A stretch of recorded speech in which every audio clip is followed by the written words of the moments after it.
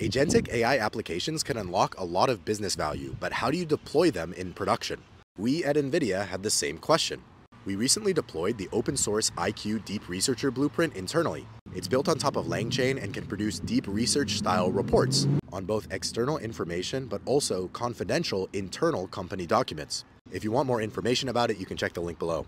But deploying applications like this for production at scale comes with its own problems. This is where Nate, or the NeMo Agent Toolkit, comes in.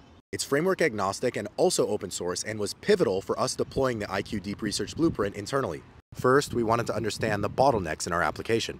So we used the NeMo Agent Toolkit profiler to understand what steps in the workflow were taking the longest, then could optimize those steps individually. Next is understanding the resource requirements for our desired level of throughput and concurrent users. For this, we use the NeMo Agent Toolkit sizing calculator. Last is as we rolled it out to teams, making sure that the system is up, healthy, and that we have observability into the system.